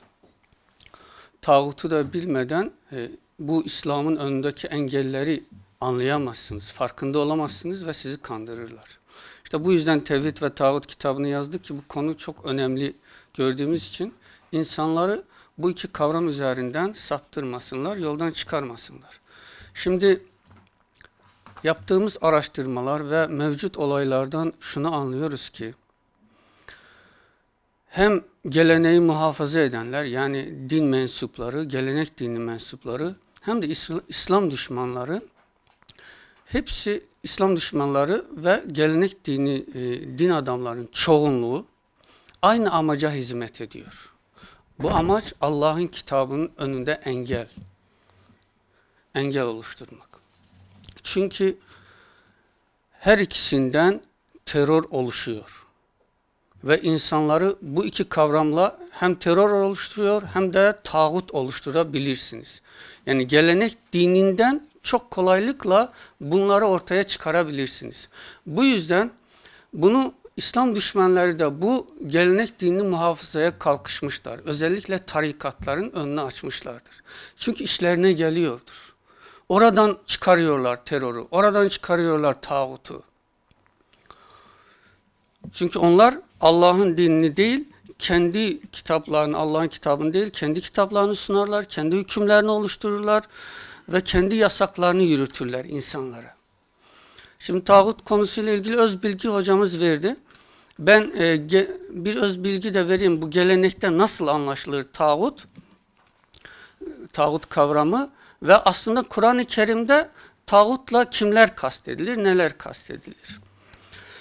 E, geleneğin eski müfessirleri hep e, bazı şahıslar olduğunu, e, putlar olduğunu, heykeller olduklarını böyle e, anlam veriyorlar puta. Yani e, tağuta şeytan olduğunu. E, Şii müfessirler de bu tağutun mesela Ebu Bekir olduğunu, Cipt'le ilgili de Ömer olduğunu söylerler. E, bunun da alt yapısı şuna dayanıyor. Çünkü onlarda imamet insanların seçmesiyle oluşmaz, ortaya çıkmaz. Öyle bir seçim yetkisi yok insanların. Allah görevlendirir, Allah'ın verdiği yetkidir. Bu yetkiyi de Ebu Bekir gasp etmiştir. Aynen mecusilerde olan o padişahlık, hükümranlık ilişkisi yani halkla. Çünkü mecusilikte de yönetime başına gelen Allah özel olarak görevlendirmiş şahıslardır. Oradan geçmiş bir inançtır. Şimdi e, son asırda ise e, bunu biraz daha tağut kavramını geliştirmişler. Demişler ki tağut aynı zamanda bazı sistemler, yönetim biçimleridir. Bunun başında Muhammed Abduh geliyor, Seyit Kutup gibileri geliyor ki bunlar biraz daha tağut kavramını genişlendirerek siyasi bakışla buraya e, bir anlam vermişlerdir. Ki tabi onların yaşadıkları ortamdan bu, bu gibi fikirler onlar için oluşmuştur. E, bunun tağut kavramını daha çok istismar etmek için ve e, İslam'la yeni tanışan gençleri e, saptırmak için bunu özellikle e, ne zaman İslam alemine yaygınlaştı? Bu e, 1979. yılında e, İran'daki İslam devrimiyle devriminden sonra e, Batı medeniyetini ve e, Amerika'yı buradaki sistemleri yermek, e, tenkit etmek, eleştirmek amacıyla bu kavram sık şekilde kullanıldı ki bu bu e, siyasete indirilerek kullanıldı. E, çünkü onların yönetimini en büyük e, tağut, en büyük düşman, büyük şeytan diyerek e, bunların yönetim biçimini eleştirdiler. Bu bu düşünce İslam aleminin diğer Müslümanlara, diğer ülkelere de bu yayılmış oldu böyle bir anlayış. Yani tağutu siyasete indirgediler. Bakıyoruz eski müfessirlere ki bu eski müfessirlerin hiçbirisinde e, tağut kavramının yönetimle ilişkilendirildiğini görmüyoruz. Yoktur öyle bir şey. Yani ne Kur'an-ı Kerim'de yok ne de eski müfessirler tağutu siyasetle, yönetimle ilişkilendirdiklerini göremiyoruz. Bunların içinde en güzel tespiti Elmalı Hamdi Yazır yapmıştır ki tağutla ilgili şöyle bir kendi kitabından okuyup söyleyeyim. Tağutu nasıl tanımlıyor? Ee, diyor ki tuğyan yani isyan, azgınlık kavramından anlaşılıyor ki putlar ikinci derecede tağutlardır. Bakılırsa akıl sahibi olmayan putların ve dikili taşların tağutlardan bile sayılmaması gerekir bu gibi şeyleri. Çünkü gelenek böyle tanımlandırmış. Çünkü bunların kendileri Allah'a karşı bir azgınlığa sahip olamazlar ve azgınlığa da kendileri isteyerek rıza gösteremezler. Bu yönüyle putlar asıl tağut değil, tağutların temsilcileridir. Der Elmalı Hamdi Yazır.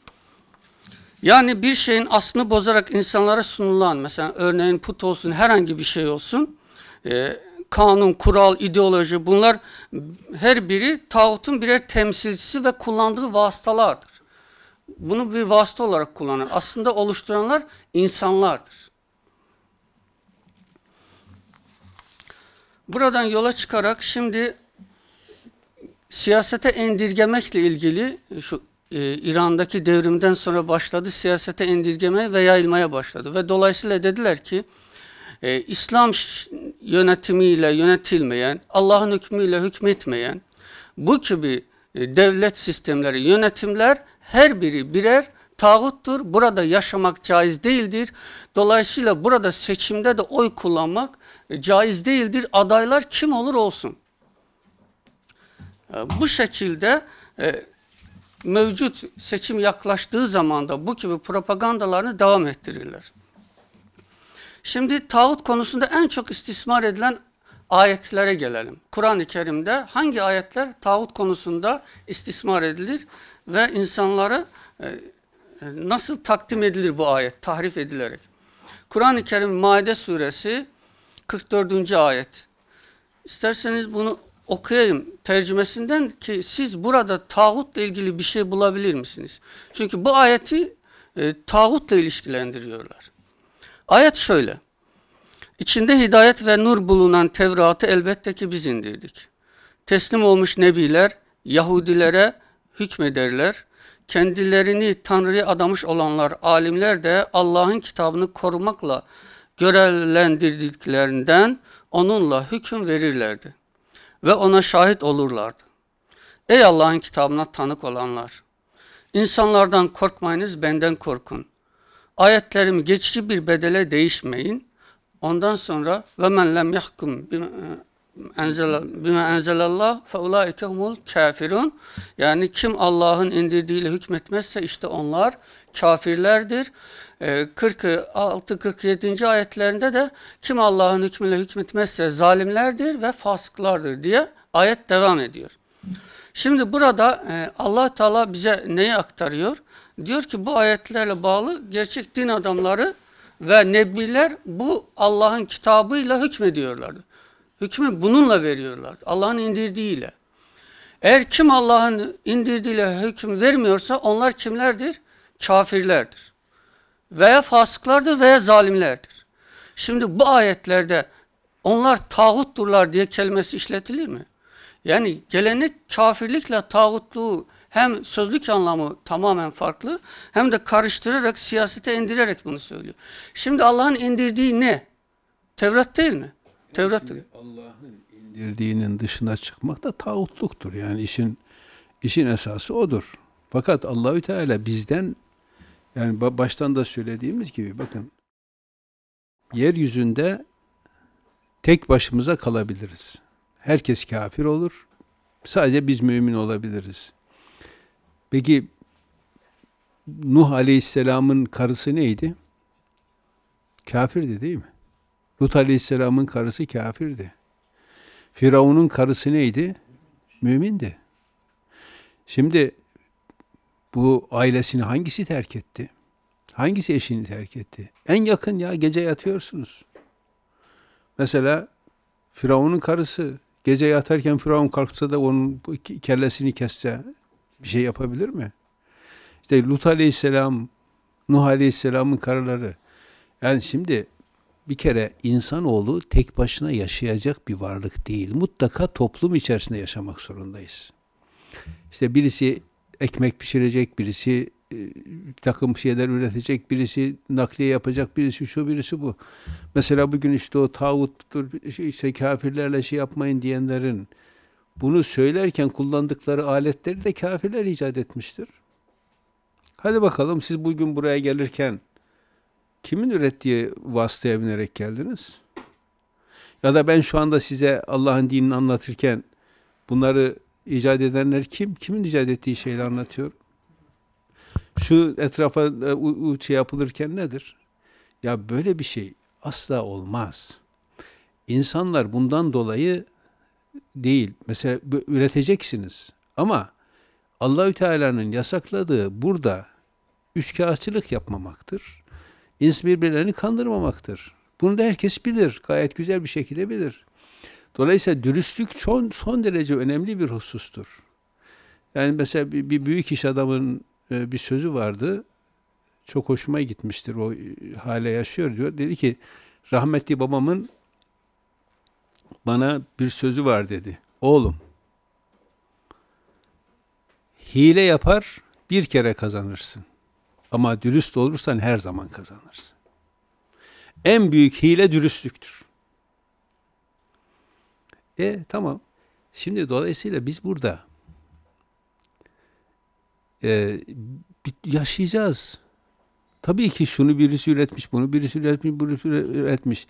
Ve biz bu konuda insanlara müdahale etmeyeceğiz. Yani karşı taraf bizim yaptığımız yaptığımız çağrının kişisel menfaat içerdiğini bilmemeli. Yani böyle bir iddia olmamalı. Evrensel doğrular. İşte Allah Allah'ın dinine çağıranlar öyledir. Kimse buna karşı çıkan kendisinin yalancı olduğunu bilir. Dolayısıyla Allah'ın emirlerine aykırı her şey tuğyandır, taşkınlıktır, sınırları aşmaktır. Adına küfür de de- derseniz gene tuğyandır. Yani tağutluktur. Şey de deseniz tağutluktur. Onun için Allah ne diyor? Şeyde Bakara suresi 256'da la fid din. Dinde herhangi bir baskı olmaz. Çünkü bu imtihan Allah yapıyor. Kat tebeyyene rüştü minel gay. Rüşt gaydan kesin olarak ayrılmıştır. Yani e, şey e, olgun, olgunluk, gü- güzellik, şey sınırlar aşmaktan kesin olarak şey yapmıştır. Ayrılmıştır. Yani doğruyla yanlışı herkes rahatlıkla bilir.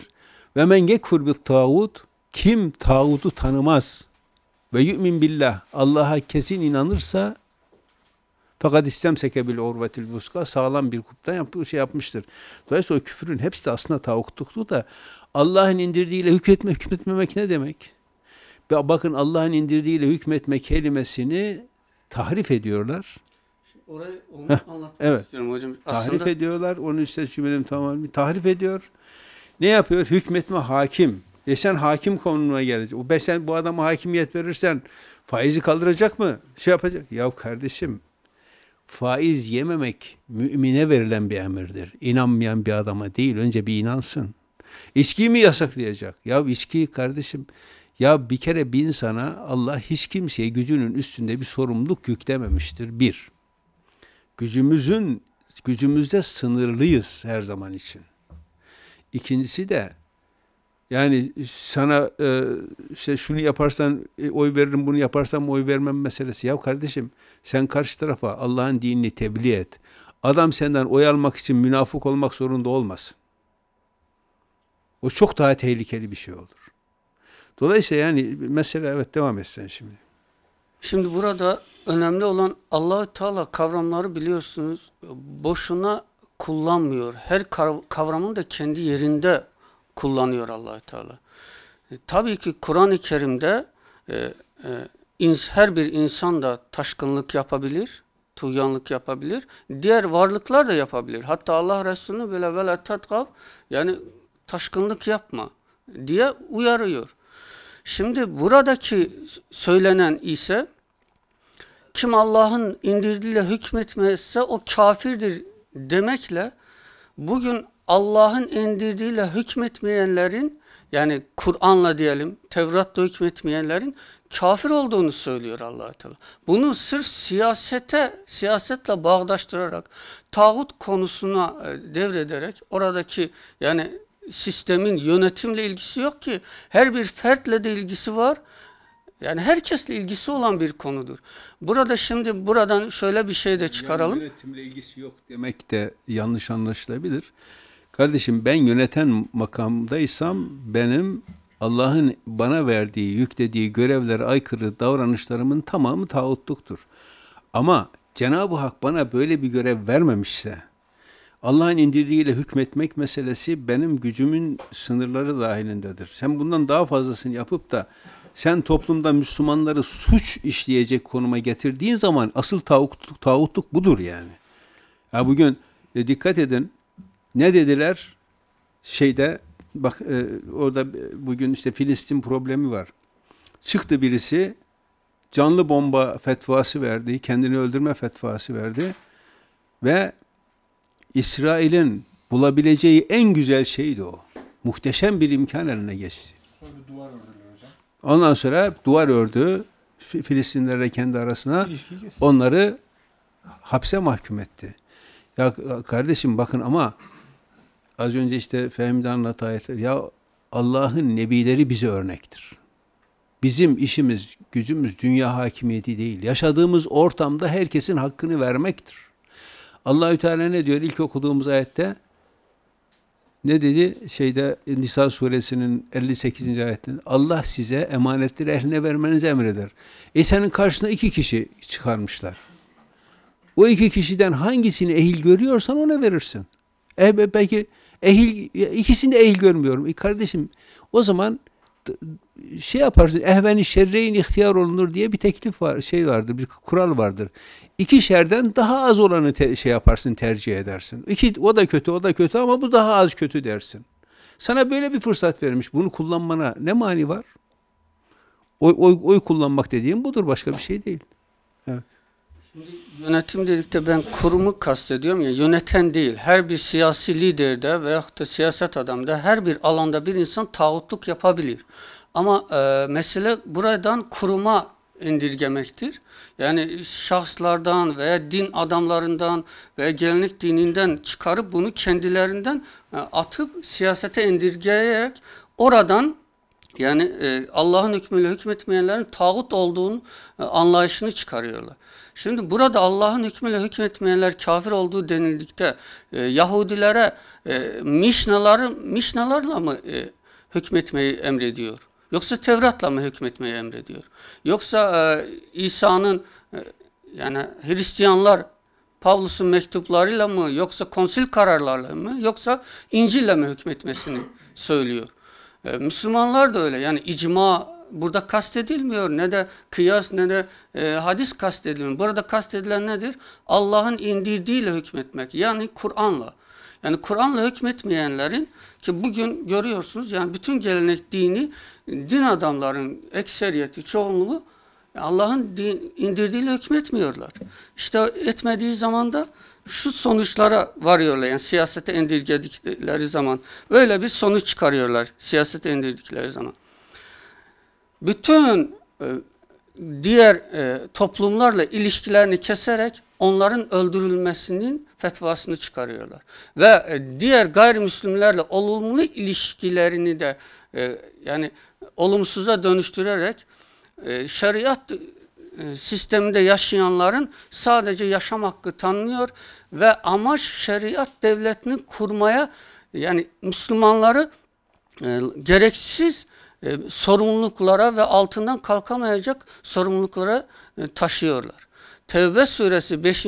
ayetle bütün gayrimüslimlerle olan ilişkilerini ortadan kaldırarak, neshederek sadece bir ayetle, Tevbe suresi 5. ayetle bütün Müslüman, gayrimüslimlerle olan ilişkilerini kaldırarak onların ölümüne fetva veriyorlar.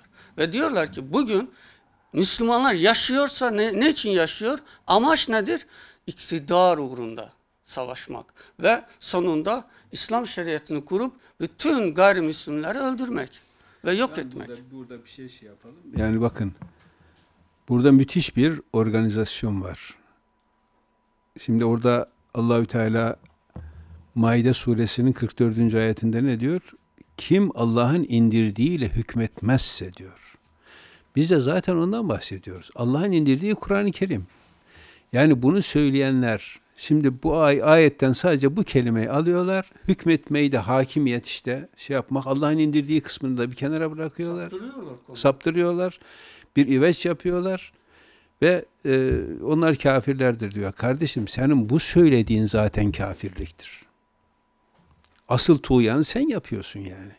Bakın e, Resulullah'ın hayattayken kurduğu bir devlet vardı. Sahabede bu Allah'ın koyduğu kurallardan çıkıldığı için ne yaptılar sahabe?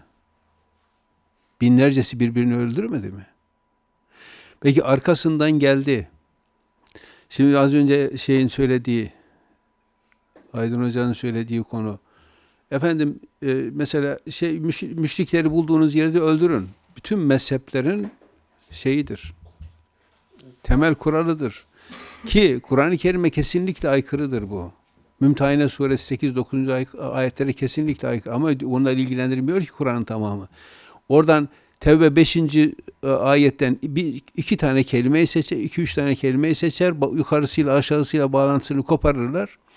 Ondan sonra Kur'an'ı okursanız müşriğin en zirvesinde olanlar Kur'an'dan haberi olan Yahudi ve Hristiyanlardır. Allahü Teala bunu açıkça söyler. Şeyde Tevbe 31. ayette var mesela. Ama öyle değil ki anlaşmışlar Yahudi, Hristiyan ve kendine Müslüman diyenler anlaşmışlar. Onlar müşrik değil. Yahudi Hristiyanlar müşrik değil. E kimmiş onlar? Kafir. Yani kafirle müşrik Allah ayırmıyor ki. Ondan sonra tutarlar. Sadece onlara hayat hakkı tanınır. Diğerlerine yok. Bugün Türkiye'de Aleviler varsa sebebi ne biliyor musunuz? O diğer is- dini toplumlara hayat hakkı tanımadıkları için onlar yaşayabilmek için bunu kullanmak zorunda kalmışlardır. Hak Muhammed Ali gibi yani kendi e, şeylerinin tanrıların isimlerini değiştirerek yaşama zorunda kalmışlardır. Halbuki açıkça olsaydı onlar da e, İslam'la yüz yüze gelecekler ve bir takım şeyler öğreneceklerdi. Ha karar kendilerine ait Müslüman olurlar olmazlar. Yani şimdi e, dersin başında okuduk. Gidin şeyin e, Ali İmran 73. ayetti. Gidin sabahleyin işte Müslüman olduğunu söyleyin. Akşam kafir olun. E, böyle bir dinin mensupları dinden dönen öldürülür diyerek şey yapıyorlar. Bakın adamlar ne yaptılar son dönemlerde? İşit diye bir şey oluşturdular. Bunun en başta oluşturulduğu, Avrupa'da oluşturulduğu ilk günlerde ben Almanya'ya gittim. Onlarla bu konuları konuştum. Baktık ki bu bir siyasi organizasyon. Kullanılıyor gençler. Ne yaptılar? Getirdiler. Efendim bir devlet kurdurdular. Şimdi ne açıklama yapıyorlar? Onlar bitti. Ya kim devlet kurduran, o- başındakiler kimdi ki? Kimdi o başındakiler? Müslüman gözüken münafıklardı. Yani e, dü- dünyada İslam problemlerini, ortadan kaldırmak için oraya topladılar, öldürdüler. Kendilerine problem olanlar olduğunu gördüklerini, o ya- yaşadıklarını zannediyorlar. Onun için yanlış din anlayışı bunlar buraya sevk etti. İşte ben o e, işitin şey işte selefilik falan ilk başladığı zaman Almanya'ya gitmiştim. O gençlerle görüştüm. Ya ne bir iki ayet okuyorum. ha. Ya hocam gerçekten böyle mi? Oo biz bu bilmiyorduk. Samimi çocuklar. Bir, sen de işte tanıdığın nice insanlar var gittiler.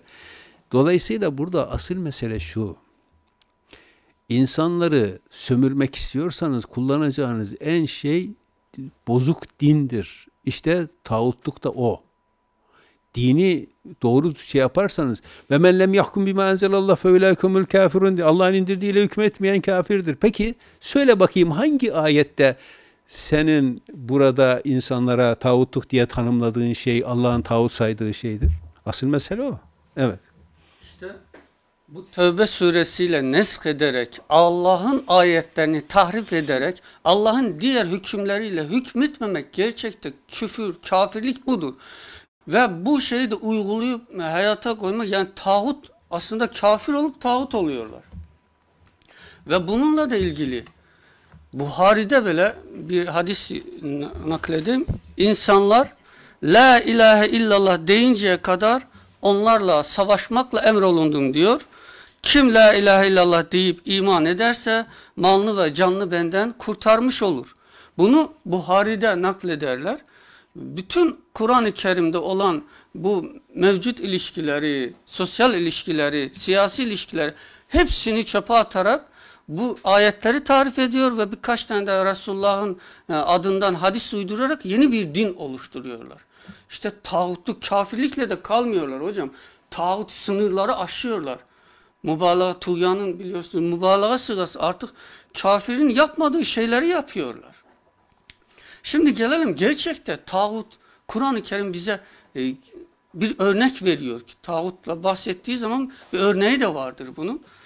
Şimdi Kur'an-ı Kerim'de bütün toplumlara Nahl suresi 36'da e, ilk önce tağutla ilgili geçen ayetleri söyleyeyim. 8 yerde geçer. Bakara 256, 257, Nisa suresi 51, 60, 76, Maide suresi 60, Nahl 36 ve Zümer 17. ayetlerdir. Ki bu ayetlerde tağut e, kavramı geçer bir sıfat olarak. Yani azgınlığın son haddine varmış insanlar diyelim daha çok. insanlara hitap eder. Allah Teala şöyle Nahl suresinde 36. ayetinde şöyle buyuruyor. Ve lekad ba'athna fi kulli ümmetin rasulen. Biz tüm ümmetlere, toplumlara elçiler gönderdik. Fe'budillah veçteni bu tağut. Allah'a ibadet etsinler ve tağuttan uzak dursunlar diye. Bu aslında la ilahe illallah'ın da bir başka bir forması, şeklidir. Yani e, Allah'tan başka ilah kabul etmeyin. Tağutla ilgili Yani burada Allah'tan başka ilah derken de çok dikkatli olmak lazım. Yani ilah ne? Diyor ki ben ona ibadet etmiyorum ki. Allah'ın emrine bir başkasının emrini tercih etmeyin demektir. Allah'ın emri varsa bitti. Mesele bu yani. Yoksa hiç kimse ben buna ilah demiyorum ki der. Evet. İşte Allah'ın elçileri toplumlara böyle geldiğini bir örneğini veriyor Allah Teala Kur'an-ı Kerim'de. Onlara Allah'ın indirdiğine uyun denince ki bu elçiler geliyor diyor ki ya Allah'a ibadet edin ve tağuttan uzak durun. Bunlar ne yapıyorlar? Babalarımızı üzerinde bulduğumuz yola uyarız. Şeytan babalarını alevli ateşin azabına çağırmış olsa da mı diye allah Teala e, cevap veriyor. Şimdi tağutlarla ilgili bir örnek söyleyelim. Nisa suresi 59, 60, 61 kısa çünkü vakit çok az. Ey müminler Allah'a itaat edin ve elçisine de itaat edin ve sizden olan emir sahiplerine de. Eğer bir şeyde anlaşmazlığa düşerseniz Allah'a ve elçisine götürün konuyu. Burada Allah'la elçisiyle anlaşmazlık değil, emirle yani başınızdaki e, yönetenle, idareciyle bir anlaşmaya emirle anlaşmazlığa düştünüzse ne yapacak bir mümin? Konuyu nereye götürecek? Allah'ın kitabına. Ve böyle olması gerektiğini söylüyor. Tava Tava da çok güzel bir anlam veriyor. Diyor ki bu ayetle aslında diyor e, kimsenin ne helal ne haram koyma yetkisi yoktur. Sadece dönülecek merci de Allah'ın kitabıdır. Der buraya kadar. Sonra ama kendi bir düşünce oluşturmuş. Şunu ekliyor. Diyor ki ya burada emir masum değil. Çünkü aralarında münakışa olan birisiyle masum olmaz. Ha, masumiyet inancını ismet imamlarına vererek artık e, onları kendilerinin yönetim ve başçı seçiyor Allah tarafından özel yöneticiler ve diyorlar ki kim emire, imama itaat ederse Resul'e itaat etmiş olur. Kim Resul'e itaat etmiş olursa Allah'a itaat etmiş olur. Ve dolayısıyla emire itaati Allah'la, Allah'a itaatle özdeşleştiriyor. Yani aynı e, şeye, seviye çıkarıyorlar. Bu, bu sen dediğin taba tabayı bir Şii alimidir. Aslında yanlışlarda Şii Sünni ayrımı yoktur. Hadis hepsinde var tabii. Yani emire itaat, Allah'a itaattir sözü Sünnilerde de Şiilerde de vardır. Yani din tamamen bozulmuş, tam bir e, teokratik sistem oluşturulmuş sanki şeriat gibi ve o baştaki kişi de ilahlaştırılmıştır. Bugün sistem bu. Onun için bizim istediğimiz, efendim bir şeriat sistemi gelsin kardeşim senin o kitaplarında gördüğün şeriat sistemine sistemi öyle bir sistem oluşturmuşsunuz ki insanlara sakın buna inanmayın dedirtiyorsunuz. O gün bugün bakın dikkat edin. insanlar denizde boğulmayı göze alıyor. Bir bota biniyor. Çoluk çocuk Avrupa'ya gidiyor. Niye? Çünkü onlar o, o, bunlardan biraz daha fıtrata uygun hareket ediyorlar. Yani çünkü esas olan fıtrattır. Yani bugün ortada şeriat falan filan ne şey hangi şeriat ya? Uydurulmuş bir din var orta yerde. Senin devlet başkanı dediğin tanrılaştırılmış. Adam emir verdiği zaman yargısız infaz vardır. Hepsinde. Yani Şii Sünni ayrımı yok ki. Ve ayeti hepsi bozmuş. Efendim Allah Allah ve Resulüne itaat. E, Resul Resul kavramını bozmuşlar biliyorsun. Biz her hemen her derste anlatıyoruz. Efendim sizden olan emir sahiplerine tamam. Bizden olan emir sahipleri yani bir mümin olan emir sahibine itaat eder. İtaat ne demek? İçten boyun eğmek demektir. Mecburen yapmak değil. İçten boyun eğeceksiniz. Peki bizden olan emir sahipleri yanlış bir şey yapar mı? Yapabilir. O zaman feyza tenazaatun fi şeyin feruddu ilallahi ve rasul. Aranızda bir anlaşmazlık çıkarsa ki onu e, şeyin Mümtehain 12. ayette bu emir olarak Resulullah aynı zamanda bir emirdir. Onunla da anlaşmazlık çıkabileceğine açıkça Allahü Teala bize bildiriyor. Emir sıfatıyla ama Resul sıfatıyla yaptığı Allah'ın ayetinin tebliğidir. Bütün kavramların içi boşaltılmış, tağut kavramı da boşaltılmış. Dolayısıyla istedikleri gibi oyun oynuyorlar. e, şeylerde Batılılar da bunu fark etmişler. Müslümanları e, şey yapmanın böyle kuş gibi avlamanın bir yolu. İşte şey sen avcılığı çok iyi sev iyi biliyorsun. Mesela ben avcılık şey, hayat, hiç şey, hayatım yok da e, kekik avlamak için önce bir taş atarlardı. Kekikleri uçururlar. Arkasından e, silahla hayvanları öldürürler. Şu anda onların yaptıkları şu bir taş atıyorlar. Müslümanlar bir havaya kaldırıyorlar. Arkasından silahla tarıyorlar. Yani bugün sistem bu. Efendim yok hemen oy kullanmak şeymiş ya nereden çıkarıyorsunuz ya? Senin karşısına Allah diyor ki emanetleri ehline verin. Ya sana iki kişi- e, ehil değil. Tamam ama sana ehlini seçti diyen yok ki şu iki kişiden hangisini beğenirsin diyor. Bakacaksın hangisi daha sana göre daha faydalıysa onu seçersin o kadar. Bunu nasıl yasak şey yapıyorsun? Ondan sonra sen o topluma göre suçlu sayılacaksın ve o toplumdaki insanlar seni suçlu sayıp dışarı atacaklar. İyi mi olacak? Evet. Kaç? Şimdi Müslümanlar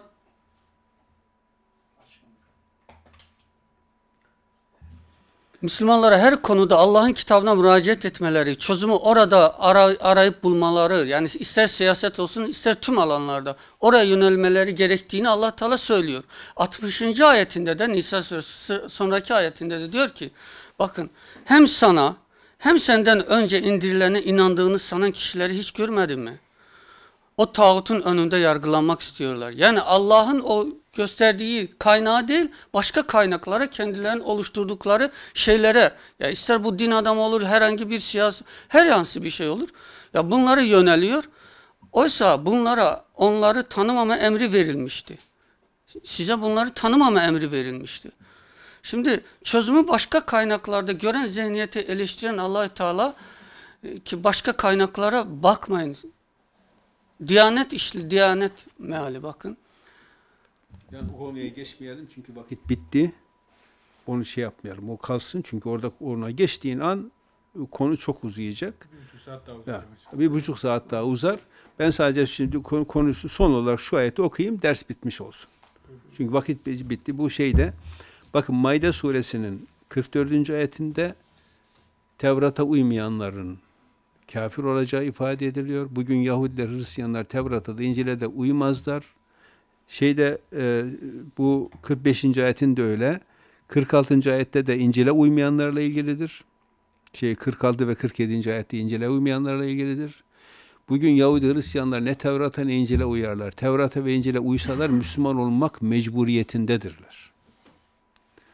Peki 47. 48. ayet Allahü Teala ne diyor? Ben o ayeti okuyacağım size ve dersimizi bitireceğiz. Diyor ki Allahü Teala burada: "Ve enzelna ileykel kitabe bil hak." Sana da bu kitabı bütün gerçeklerle dolu olarak indirdik. İçerisi tümüyle gerçektir. Musaddikan lima beyne yedeyhi minel kitap kendinden önceki bütün kitapları da tasdik ediyor. Tevrat'ı da onaylıyor, İncil'i de onaylıyor, diğer ilahi kitapları da onaylıyor. Ve müheyminen aleyh o kitapların üzerinde koruyucusu. O kitaplardaki doğru bilgileri Kur'an-ı Kerim koruyor. Fahkum beynehum bima enzelallah o zaman onların arasında yani Yahudiye de Hristiyan'a hepsine de Allah'ın indirdiğiyle hükmet. Allah'ın indirdiğiyle hükmet onlar Müslüman onları Müslüman et değil. Bir, bir, bir problemleri çıktığı zaman Kur'an-ı Kerim'e göre hükmedersin. Ve la tettebi ahvaahum amma ca'eke minel hak. Sana gelen bu gerçek e, gerçekten uzaklaşarak onların arzularına uyma. Likullin cealna minkum şir'aten ve minhaca. Sizden her birisi her biriniz için bir yol, bir yöntem oluşturmuşuzdur. Yani Yahudilerde bazı farklılıklar vardır, Hristiyanlarda bazı farklılıklar vardır. İslam'da farklılıklar, bu farklılıklar imtihan sebebidir. وَلَوْ شَاءَ اللّٰهُ لَجَعَلَكُمْ اُمَّةً وَاحِدَةً Eğer Allah'ın tercihi farklı olsaydı, hepinizi tek bir ümmet yapardı. Hep, Allah emretti mi herkes Müslüman olur, bitti. Hepimiz nasıl insan olduysak aynı şekilde Müslüman da olurduk. وَلَاكِنْ لِيَبْلُوَكُمْ ف۪ي مَا آتَاكُمْ Ama size verdikleriyle sizi zor bir imtihandan geçirmek için böyle yapmıştır. Dolayısıyla işte e, Hristiyanlar Müslümanların doğru olduğunu bildikleri halde aman işte kendi hakimiyetimiz kaybolmasın diye ona sahibi şey yapmışlar. Yahudiler öyle. E, yapsın. Ne yapalım? İmtihanı Allahü Teala yapıyor. Sakın diyor seni Allah'ın dininden uzaklaştırmasınlar ki bugün geleneksel İslam'da çok ciddi anlamda uzaklaşma vardır. Festebikul hayrat. Hayırlarda yarışın. Hayırlarda yarışın. Peki hayırlarda yarışın ne demek? Hep en iyi de yarış, yar- yarışa başladığın zaman yarın onlar da en iyinin ne olduğunu görecektir. Tübingen Üniversitesi'nde e, ben birkaç kere sohbet yapmıştım. Orada e, dekan kalktı dedi ki sen bizi dedi Müslüman yapmaya mı geldin? Ben de bu ayet okudum. He sustum. Bak hayırlarda yarışın diyor Allahü Teala dedim. Hadi bakalım hayırlı işlerde yarışalım. Herkes sustu. İlallahi merci'ukum cemi'an dönüşünüz. Bütün e, yok bu ayet değil şey değil. Neyse. Ama aynı ifadeyi taşıyan e, Ali İmran suresinin e, şey Bakara suresinin ayetiydi. Evet. Ve Bakara suresinin ayetiydi. Ama aynı şey orada var. İlallahi merci'ukum cemi'an hep birlikte dönüşünüz Cenab-ı Hakk'adır. Feyunebbiukum bima kuntum fihi tahtelifun. İhtilaf içerisinde olduğunuz şeyi haber verecektir. Yani bu dünyada ben Müslüman olarak tek başıma yaşayabilirim. Ama o imanımla tek başına. Yoksa tabii ki bir, herkese ihtiyacım var. Adamın ürettiğinden yiyeceğim, e, şeyde ondan beraber yaşayacağım. E, Benim eşim e, Müslüman olmayabilir, evladım Müslüman olmayabilir, bana düşman olabilir. O zaman yapacağımız şey şu. Biz Müslüman olarak davrandığımız zaman dünyada hiç kimse bizi suçlu sayamaz. Ama karşı tarafın bütün arzusu bizi suçlu saymaktır. Son olarak tekrar edeyim. Seçim dediğiniz nedir? Seç diyor. Seç. Şurada iki tane şey var. Bunlardan ikisinden birisini seç. O kadar. Sana üçüncü şey ne istersin beyefendi diye soran yok ki. O zaman bakacaksın. Ya ikisini de beğenmiyorum. Tamam ikisini de. Ama hangisi daha az zararlıysa onu seç o zaman. O kadar. Bunun İslam'la İslam'a muhalif ne tarafı var? Allah yardımcımız olsun. Cenab-ı Hak rızasından ayırmasın. Allahü Teala önümüzdeki seçimlerde hepimizin hayrına neticelenecek şekilde bir seçim olmasını nasip eylesin.